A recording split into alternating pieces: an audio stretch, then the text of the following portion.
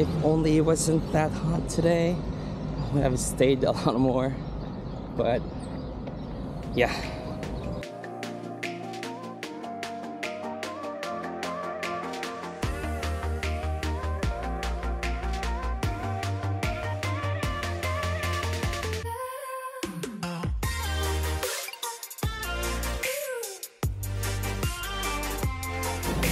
Just got off Plaza de Mayo stop for the Suri or the Soup Day or the subway train. I'm gonna show you around places of interest in Buenos Aires. We are gonna start at the heart, the center of Buenos Aires itself. We are at Plaza de Mayo or May, Mayo. They pronounce it Mayo, I think. It's Plaza de Mayo or May Plaza. And I think this plaza holds the largest Argentinian flag ever that I've seen here. And if you can see it, although it's not waving right now, that's that's huge. I will show you this very interesting building. This is the equivalent of the White House for Buenos Aires, but it's not white. It's pink, so it's called Casa Rosada so literally the pink house. And what is, what is casa rosada? Casa rosada is office of the president of argentina. So he stays here to work but not to sleep you know? He has his own residence outside the city center.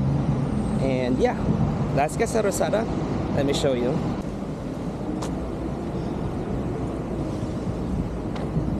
This is Casa Rosada. It's, it has a very interesting story about why it's pink. Um, during my day tour, they said that this is pink because of blood. There's a urban legend, if you call it. They said that because red was a trending color or maroon around that time, so he mixed three blood and the story of why they keep it pink, but that's just an urban legend. I don't think it's real, but that's what my tour guide said. Another interesting fact about this building, if you notice, there's like an extra wing on that side. It's not even. So if you look at it, let's let's stay in the middle. We are exactly in the middle of the pink house, Casa Rosada. See that? One, two. And if you look at the left, it's one, two, three. Why is that?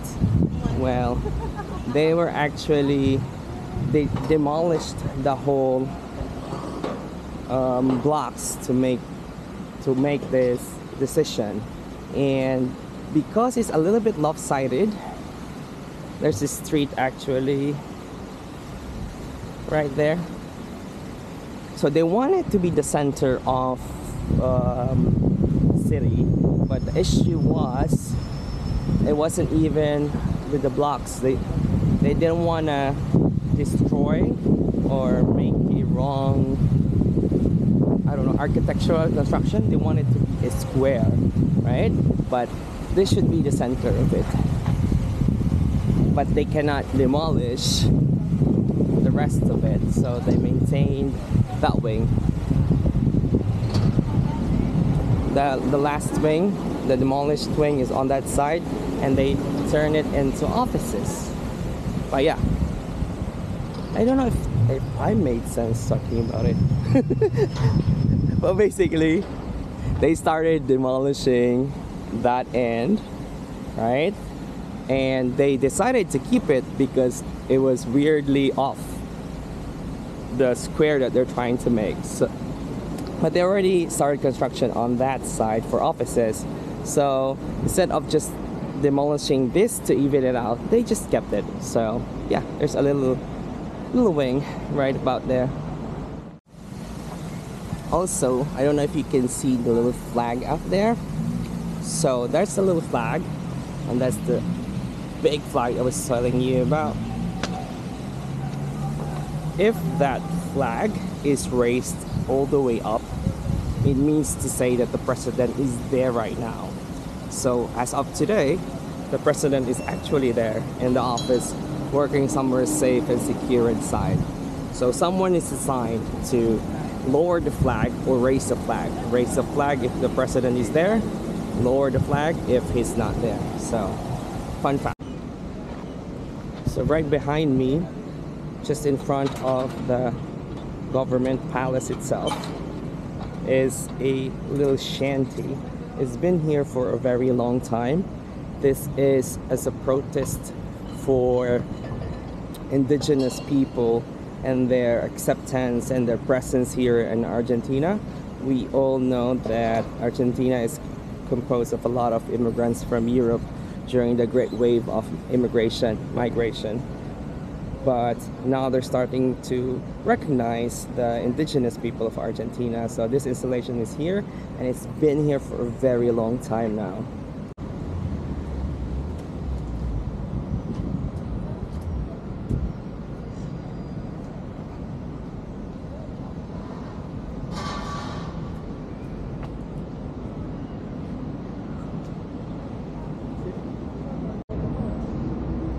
Just behind me is the statue of a general. It's, I think it's General San Martin, if I'm not mistaken.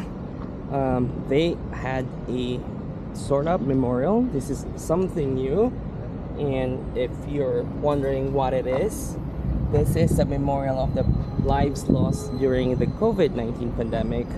It it started with just family members putting stones with the names and dates of birth and death in this plaza. And then people started coming in and putting in their own stones and their memorials. And from that moment on once it got to a limit of that stones all of that stairs were occupied with memorials. The city decided to cover it and made it a sort of permanent memorial for COVID-19. As we walk towards the middle of Plaza de Mayo, there's a big, looks like Athena warrior obelisk in the middle. And it says founding of this park itself. It's May 25, 1810, hence the Plaza de Mayo. If you happen to be walking around and you notice this white painting, they're just not ordinary paintings. They actually are the scarf that the women of Argentina put on their head. That scarf is famous for um, a protest or a group of people that are looking for their children, their family members that were lost during children of lost lost children of women. See that? They are wearing it in their head. So that scarf it represents the movement finding lost family members during the Great Revolution here in Argentina. And so there's actually two groups, the mothers and the abuelas. The abuelas or the and or the mothers, they actually come here just like today. I haven't seen them yet. They gonna walk around here around the Plaza de Mayo to protest and continue looking for justice and for their lost family members.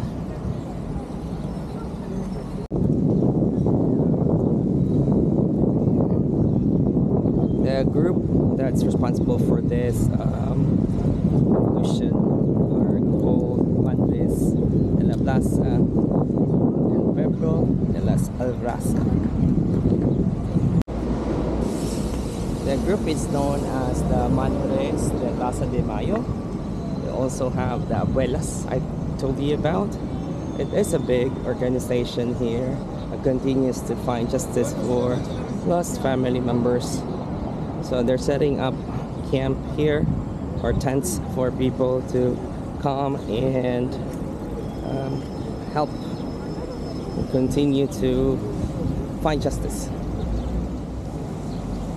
Remember, I told you about this street that they wanna make a straight line from the obelisk and Casa Rosada. So it's exactly in line.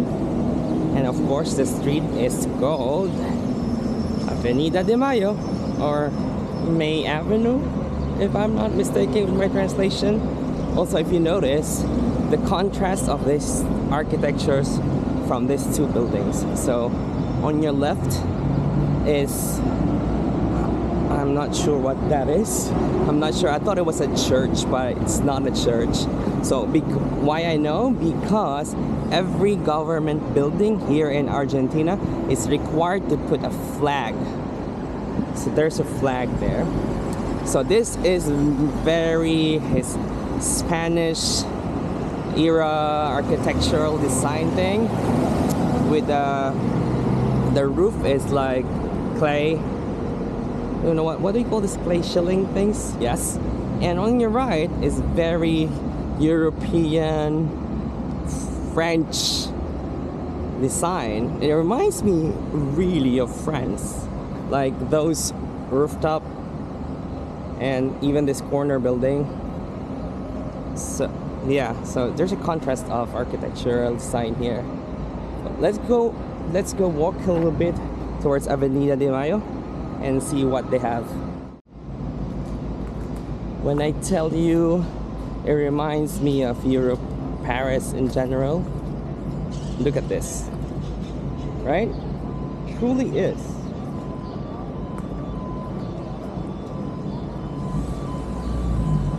I'm amazed on the structures that they have here and the architecture in general, especially here in Centro or downtown area of the city. And also their subway, there's an escalator going down, just like in Paris. That's what I said, that most of the bus. Most of the facilities and stores are closed today because it's a holiday and they're not kidding about it. There's like only one store open right now. And they're serious. I'm. I'm, I'm telling you, when it's a holiday, it's holiday. And trivia though, in in Argentina, Buenos Aires at that, you don't really know what time they open or they close because they decide on what time they want to do business. So it's not profit. Um, how do you say it? It's, it's not profit profit driven. It's about service and I guess mental health for the owners. It's really amazing on how they just decide to close whenever they want to we are about to arrive at a very old coffee place. It's actually very very famous. Um, it's very famous here in Argentina for locals and also for tourists. People actually line up just to get in. It's this place. I've seen this place on YouTube, and I did a little bit of my research. It is really beautiful inside. I haven't been, to be honest. All I know is really good. See, people, this is Cafe Tortoni, and people do line up just to get in here. It's like a Harry Potter coffee shop.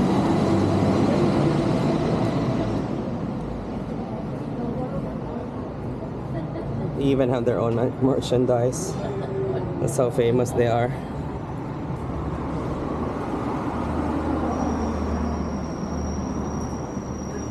Oh, here's a photo. So it's founded on 1858, and the inside is so incredible.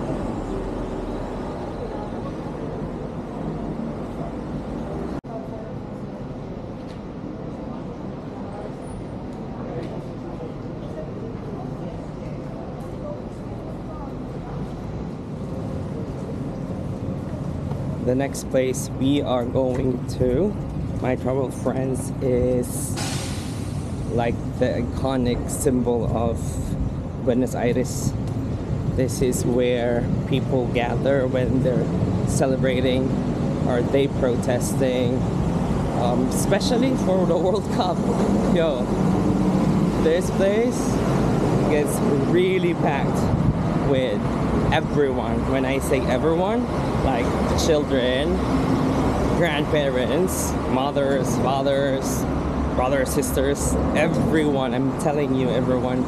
They congregate in this area because it's such an icon. It represents. Um, it's very new. This actually, this architecture is very new, but it has become the center of a lot of activities here in Buenos Aires we are taking the longest crossing ever in my entire life. I think this is the longest crossing ever. So it's known as the longest crossing in the world, I think. Quote me or unquote me on that. So you need a lot of time to go to the end. See, I'm already 13 right here. I don't think I'm gonna reach to the end. It's like what? Six blocks? Six small blocks right? I'm stuck in the middle now. I'm stuck in the middle. I'm telling you that's a really long crossing. Hi. Yeah. But it's fun. It's fun to be stuck in the middle of all this traffic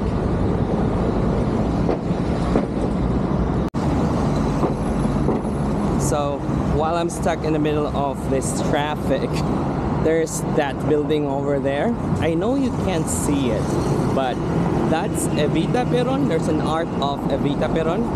If you don't know who Evita Peron is, she is a former wife of the president, old president.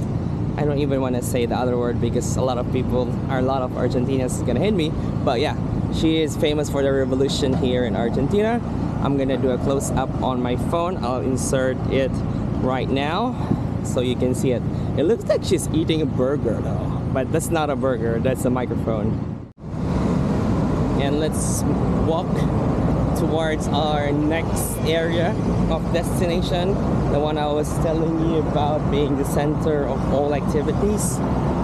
It's it is in the middle of Plaza de Mayo. No not Plaza de Mayo I'm sorry Avenida de Mayo middle of the oldest crossing. And oof, it's just so hot almost there. I'll show you once we get there. We are in the middle of a bus stop. So multiple buses on the left and multiple buses on the right. There's also a train station at the end if I'm not mistaken so this is where majority of the people take their buses.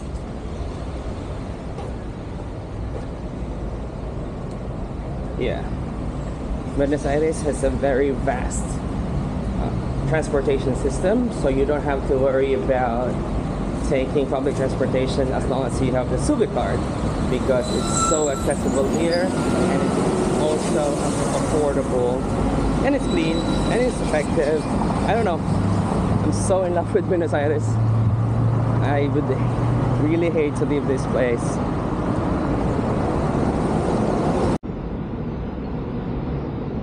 So that little line right there, that's what I was talking about, my friends. That's the Obelisco in Buenos Aires. Let's go closer.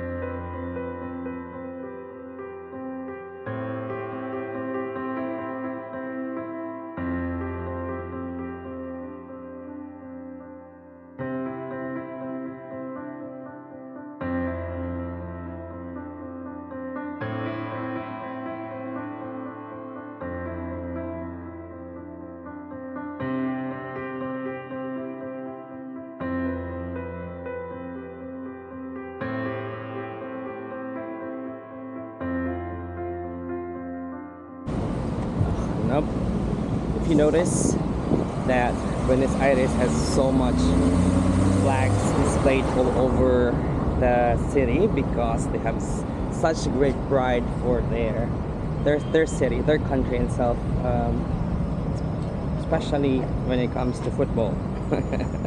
Messi, yo, Messi. They have such a great team, and as this time of recording, it's still the World Cup, and Argentina is going to the finals. If you also notice, the street sign, the crosswalk, is not black and white. It's colored blue and white. Hence the reference of the flag. It's everywhere. The color, the nationalism, it's everywhere, and I love it. Like it, it just feeds you. You just want to stay here and enjoy it and take it all in. Right. Right, we're just gonna make a little U-V on this famous Buenos Aires touristic Instagram site. If you are so big into taking Instagram photos, people literally fall in line in this 94 degree heat. And you can see the line right there, my friends. Yeah. People really fall in line for this. And that's what you fall in line for. There's a big BA sign in the background with a big obelisk and flags. So yeah, the line can get really long. Look at all that line. Yeah. Is it worth it? Maybe. It depends on your priorities. I am just making a UE. Actually, I'm gonna do a little cross here. Oh, there's there's a cameraman. I can't cross. so I'm just gonna make UE because I'm not gonna fall in line. I already have a photo there, but not on that side. Now, moving on to our next location.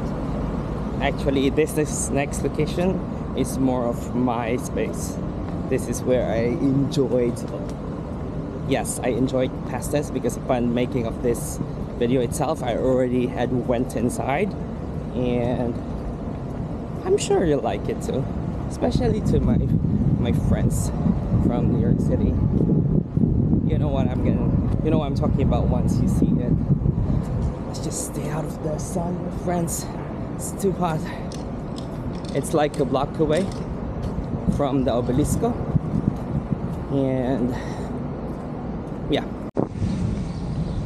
And the place that was telling you about is no other than at Teatro Colon or the Colon Theater. Oh gosh, if you ever have it, if you ever have the chance to get inside, watch the show, I'd advise that you you do it. It's not that expensive. The inside is beautiful. The show is wonderful. It's one of the best acoustics I've ever heard during a show. I watched um, Fisherman of Pearls with my friend Ricardo. And this is what's inside. I'm gonna insert the mobile videos that I took during the show. Not during the show but once we, we got in. But yeah you know what I mean? Like I don't take because that's piracy. You don't take videos of shows okay? But anyway that's it. And this is the show I'm telling you about this is what's inside. It's beautiful.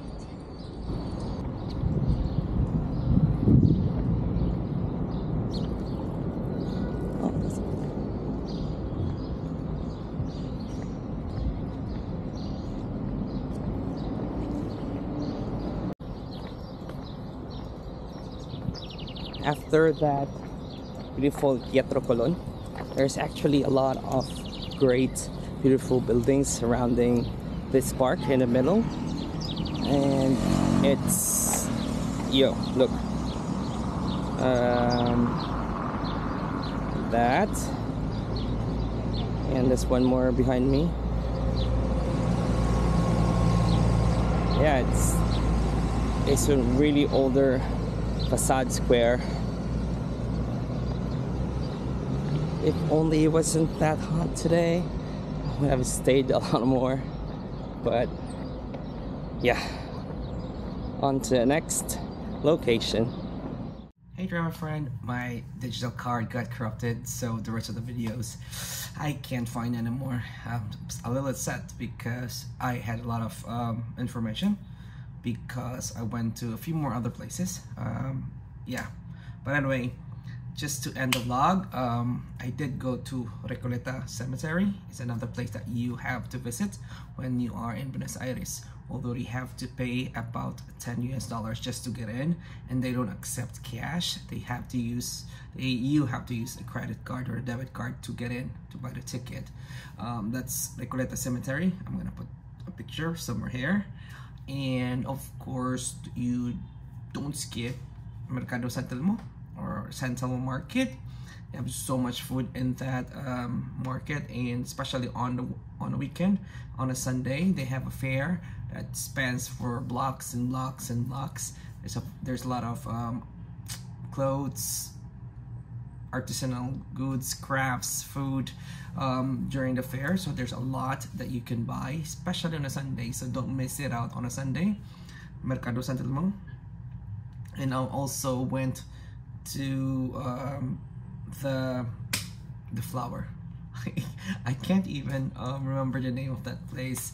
There's a big flower that's supposed to open during the day and closes at night. It's in the park. I'll put the name in the description right here. Um, it doesn't open. It doesn't close. It stays halfway open halfway closed right now. But um, those are the places that I actually went to as well. And the the last thing the famous I'll put it right here um, the library. Ateneo library I think? Or no I think so. Anyway yes. That library is one of the most beautiful libraries in the world. It's actually voted um, as one of the beautiful libraries in the world. As you can see in the picture right here it is very beautiful. So those are the, the few places that um, I would like to add on the list from this vlog because um, you know I lost all my data. Anyway if you at least find something useful from this vlog please don't forget to like this video. Also write some write your comments down below if you have any other questions regarding top places to visit in Buenos Aires. And also please don't forget to subscribe to this channel to see more adventures like this actually this might be my last vlog for Argentina because as what I told you my um, memory card got corrupted and my data all gone. So anyway I'll see you in my next future vlog. Thank you travel friends. Ciao